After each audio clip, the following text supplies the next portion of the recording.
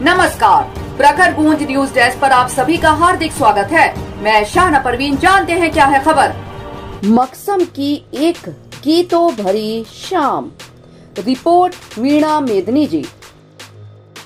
मंजिल ग्रुप साहित्यिक मंच भारत वर्ष के नौ दिवसीय कार्यक्रम के बाद 23 जुलाई 2023 को माँ आधारित रचनाओं का गायन हुआ, जो फ़िल्मों से लिया गया था।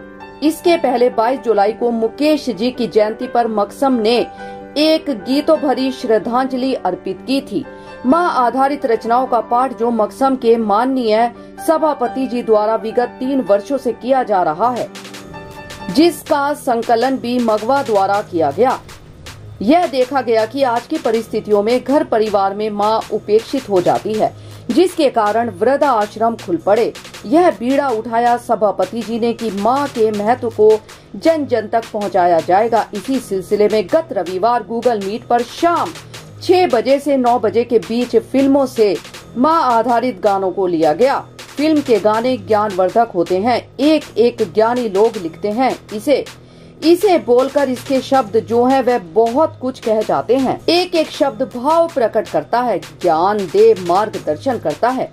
कार्यक्रम को तीन भागों में बांटा गया था, जिसमें छह बजे से सात बजे तक, जिसमें फ़िल्मों के 1944 से 1964 वर्ष के माँ आधारित गीतों को गाया जाना था। दूसरे भाग में वर्ष 1965 से वर्ष उन्नीस तक के गाने माँ आधारित गीतों को जो दिए गए फ़िल्मों पर थे होने चाहिए थे, उन्हें गाना था।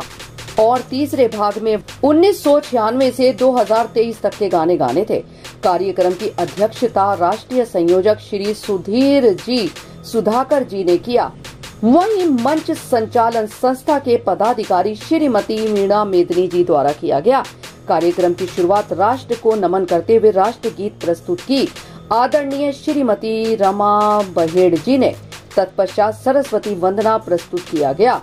श्रीमती शोभा सतीश पाठक जी ने माँ सरस्वती जी की कृपा प्राप्त होते ही कार्यक्रम शुरू हुआ। समय न गवाते हुए प्रस्तुतियों को अधिकतम मौका मिल गया। पहले भाग में प्रस्तुत किया शोभा सतीश पाठक जी, निर्मला कर्ण जी, रमेश कुमार द्विवेदी जी, गीता उपाध्याय, मंजरी जी, अनीता सोनी जी। यह भाग पूरा होते ही दूसरे भाग की तरफ़ आगे बढ़ा गया, जिसमें भाग लिया डॉक्टर वत्सल्ला जी, सीमा शर्मा, मंजरी जी, कमल पुरोहित, अपरिचित जी, आशा जाखड़ जी, ऋतु प्रज्ञा जी, कुंवर उदय जी राम कुमारी जी, सरला विजय सिंह सरल जी, विनय कुमार पाठक जी, रेणु बाला धार जी, वीणा मेदनी, संगीता कुमारी सहाय जी, उदय शंकर चौधरी नादान जी, शिवालिका सिंह कुशवाहा जी, शोभा देश पांडे जी। इस भाग में अधिकतम प्रस्तुतियाँ हुई, जिससे इस भाग ने अपना पूरा समय लिया। ठीक आठ बजे तीसरे भाग में प्रवेश किया गया। भाग में निम्नलिखित प्रतिभागियों की प्रस्तुतियाँ हुई। शोभा, सतीश पाठक जी, वीणा मेदनी जी, संतोष भाऊवाला जी, शिवालिका सिंह कुशवाहा जी, वीना कुमार पाठक जी स्वर्ण लता सोन जी, कमल पुरोहित और परिचित जी, शोभा देश पांडे जी, इस तरह से और भी उपस्थित रचनाकारों ने फ़िल्मों से जुड़ी कुछ मुखड़ों को सुनाया और विशेष रूप से उपस्थित अनेक रचनाकार रहे जो श्रोता बनकर गीत से सजी सभा की शोभा बढ़ाते रहे। अंत में बहुतों ने समय के अनुसार गानों के मुखरों को सुनाया। प्रस्तुत गीतों के ज़रिए एक संदेश दिया गया कि माँ से बड़ा कोई नहीं होता।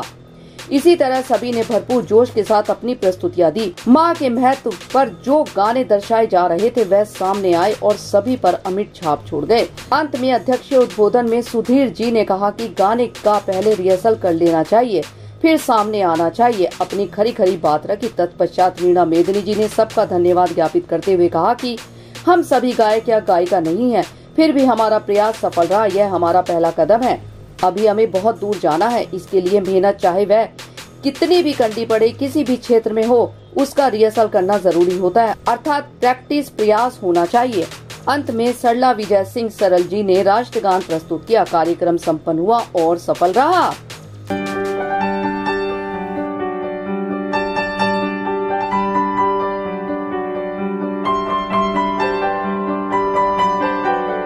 आज केवल इतना ही, और अधिक ताज़ा तरीन खबरों के लिए जुड़े रहे प्रखर गूंज न्यूज़ डेस्क के साथ।